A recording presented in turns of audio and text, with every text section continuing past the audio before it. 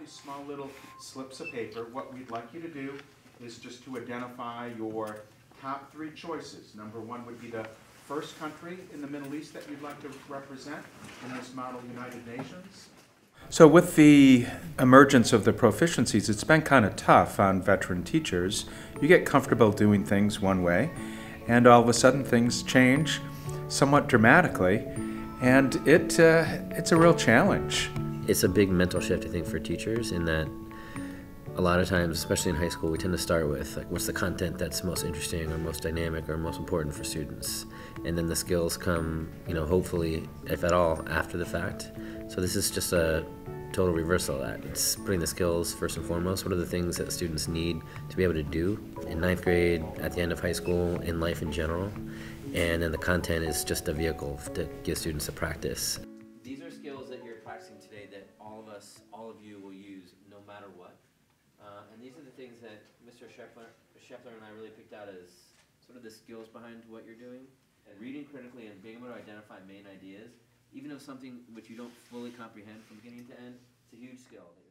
There are a lot of positives with this system in terms of the opportunity for students to amend some of their work. I've had difficulties in this class, and when I do, I can always redo things or design my own project so I can earn my proficiencies that way, which I find is really nice because I couldn't do that before. It was kind of just you take a test, and if you didn't do well on it, then you were kind of just stuck there. I mean, you're never really given much information besides you just got a lower grade.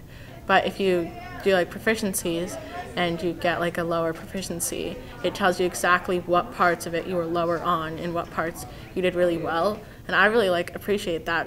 it's not like the nicest thing to say, but I'm on the side of like proficiencies where I'm not too into it. I think a lot of students dislike proficiencies and are having so much trouble with it.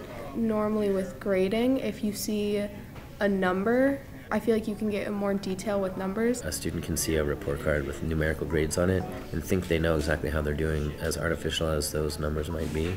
Sometimes it's a rubric, or if you you like yeah most of the time it's a rubric but then if you're you are unhappy with your rubric you have to go talk to your teacher. Our reporting system that we switched to this year was really convoluted not really clear to students or parents uh, and it's caused our, our school to make some adjustments for next year adopting a whole new reporting system.